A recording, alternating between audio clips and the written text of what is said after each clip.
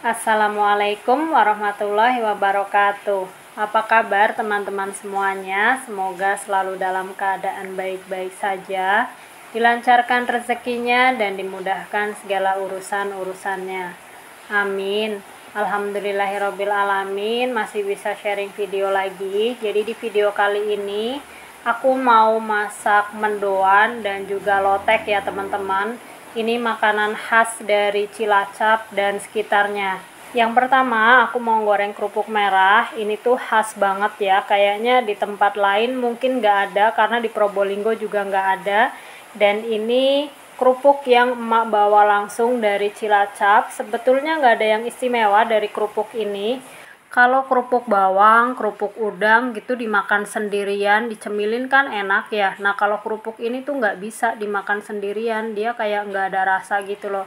Udah sendirian nggak ada rasa, jadi memang harus ada apa? Ada temennya gitu. Nah biasanya kalau di Cilacap itu ya ini ditemenin sama lotek tahu masak atau juga soto gitu. Terus di sini aku lanjut mau goreng kacang. Buat yang udah ahli dalam menggoreng kacang tanah silahkan di skip aja karena ini biar aku ada yang diomongin gitu loh. Yang belum ahli goreng kacang tanah, biasa sampai kebablasan gosong gitu, bisa ditambahin pakai bawang putih ya teman-teman ini bawang putihnya bawang putih yang masih baru bukan dari kulkas gitu. Jadi kondisinya kondisi biasa gitu. Cemplungin aja barengan sama kacangnya. Nanti kalau misalnya dia udah kecoklatan itu artinya udah mateng. Tapi kalau misalnya nggak mau pakai bawang putih pun bisa ya. Jadi dia e, sampai bunyi pletek-pletek dari si kacangnya itu udah nggak ada itu biasanya dia udah mateng Nah, itu adalah bunyi pletek-pletek yang aku maksud ya. Untuk gorengnya pakai api sedang aja. Nah, kalau bunyi pletek-pleteknya udah nggak ada, itu artinya udah matang atau biasanya si bawang putihnya dia udah coklat kayak begini nih. Ini artinya si kacangnya itu udah siap diangkat ya teman-teman.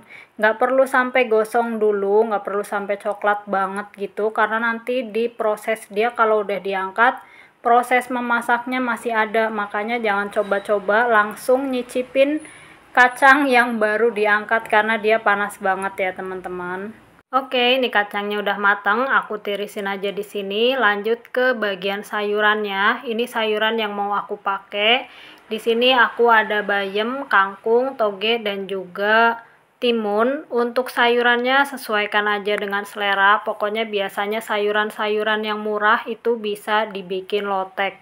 Kayak kobis, terus kenikir, daun melinjo, kembang turi, ataupun kecombrang gitu ya. Biasanya juga dipakai untuk isian dari si lotek ini. Kalau mau pakai sayur yang mahal kayak brokoli dan kawan-kawannya juga silahkan aja. Cuma budgetnya bakalan jadi banyak ya teman-teman ini aku bikin lotek juga gara-gara ada sayur gratisan seperti biasa di minggu akhir itu ada sayuran gratis, telur dan juga tempe. Oleh-oleh dari suami pulang kajian, makanya jadi ini aku mau bikin lotek gitu karena kan banyak sayur gitu ya. Biar sehat gitu. Nah ini airnya udah mendidih langsung aja aku mau masukin kacang panjang. Ini udah lama banget ngetem di kulkas dia udah layu gitu tapi sayang mau dibuang. Jadi aku pakai aja. Kacang mateng aku angkat terus lanjut mau ngerebus bayamnya. Untuk urutan ngerebus sayurnya bebas ya. Nggak ada aturan ini itu silahkan aja mau yang mana dulu yang direbus pokoknya ini untuk ngerebus sayurnya aku nggak lama-lama biar nggak lodoh gitu. Ini untuk kangkung juga sama ya tinggal cemplung bolak-balik sebentar. Kalau udah layu semua tinggal diangkat. Terus lanjut kompornya aku matikan dan yang terakhir aku cemplungin toge. Karena toge itu nggak direbus pakai api. Ini kan sisa airnya masih panas ya kan dia bisa matang sendiri kena panas maksudnya. Jadi lumayan lah menghemat gas ya kan Oke, sayurnya udah matang semua. Ini aku sisihkan dulu. Lanjut aku mau bikin tempe mendoan, tapi mendoannya kali ini pakai KW ya.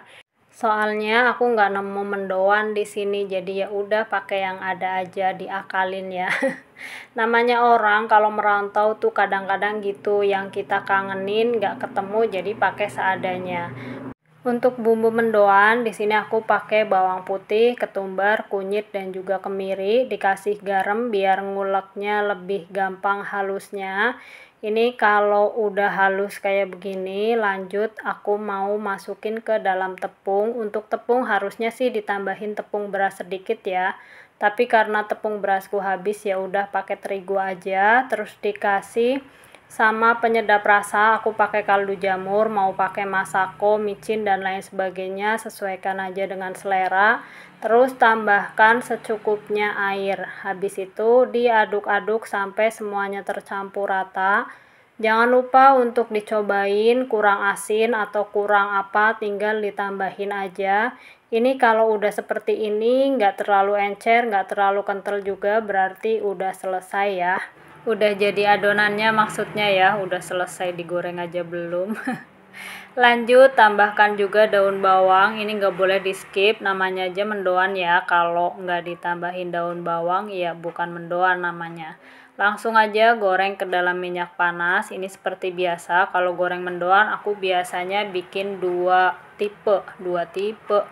Uh, apa sih dua mode gitu ya. Yang satu mode mendoan mendoan itu yang digoreng gak terlalu matang sama yang kering. Karena anak-anak biasanya sukanya yang lebih kering karena kan kulitnya jadi lebih crispy. Sambil nunggu goreng mendoan di sini aku mau bikin loteknya ya teman-teman. Di sini ada cabai terasi bakar bawang putih dan juga garam diulek sampai halus terus hampir aja aku kelupaan ya. Yang nggak boleh di skip adalah kencur. Ini wajib banget ada tapi kalau teman-teman nggak doyan kencur ya udah apalah daya skip aja. Pokoknya sesuaikan dengan selera. Ini kalau udah diulek halus semua lanjut masukin secukupnya kacang tanah yang tadi udah digoreng dan diulek-ulek sampai halus. Tapi mohon maaf nih aku nggak bisa ngulek kacang itu sampai halus banget jadi ya udahlah.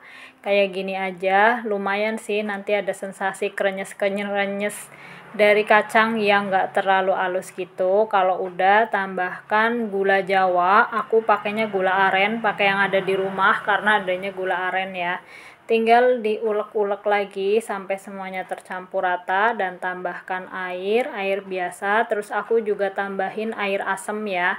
Ini air asam boleh di skip juga. Pokoknya kalau nggak doyan asam-asam ya jangan ditambahin. Tapi ini juga nggak terlalu asam sih biar ada efek segernya gitu aja.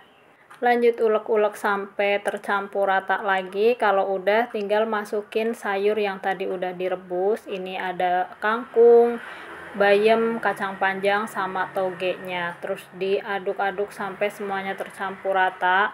Nah ini jangan lupa juga tadi kerupuk yang udah digoreng tinggal diprekes, diremes di atas si lotek yang udah jadi dan aku kelupaan teman-teman pas udah selesai aku baru inget tadi udah ngupas timun padahal tapi bisa-bisanya kelupaan ya ya udah ini tinggal aku iris-irisin aja Oke, alhamdulillah ini udah jadi semua, loteknya juga udah jadi, mendoannya juga udah jadi. Kalau anak-anak sukanya mendoan yang kering, kalau aku sukanya mau yang kering, mau yang mendo belum matang, aku doyan semua. Dan ini aku makannya nggak pakai nasi karena ya menurut aku segini aja udah kenyang gitu ya, sepiring gitu loh. Kalau dulu waktu kecil yang namanya makan lotek ya wajib lah pakai nasi, kalau enggak ya bakalan nggak kenyang karena satu bungkus untuk berame-rame gitu kan. Oke terima kasih banyak sudah menonton. Sampai ketemu lagi insya Allah. Assalamualaikum warahmatullahi wabarakatuh